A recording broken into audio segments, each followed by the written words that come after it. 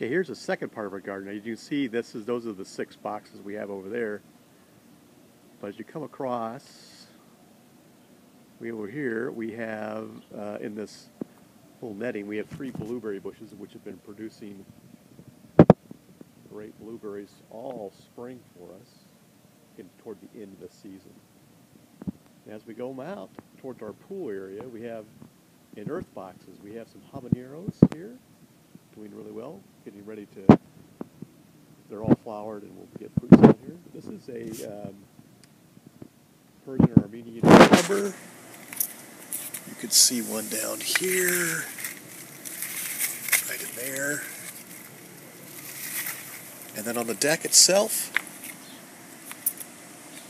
we have uh, pickling cucumber in there, a Boston pickles, and I picked a bunch of those this morning.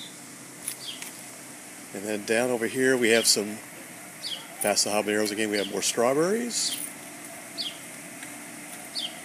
more pickling cucumbers. In fact, if I open it up, you should be able to see some in there somewhere.